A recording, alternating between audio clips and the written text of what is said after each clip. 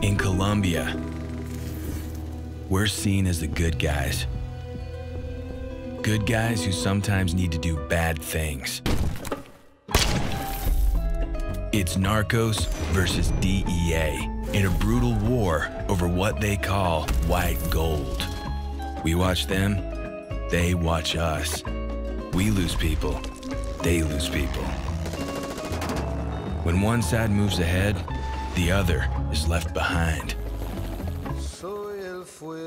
In the barrios, in the jungle, in the cities, only the best strategy takes the upper hand. Only the most effective team takes control. This country is ours, and we will fight for it.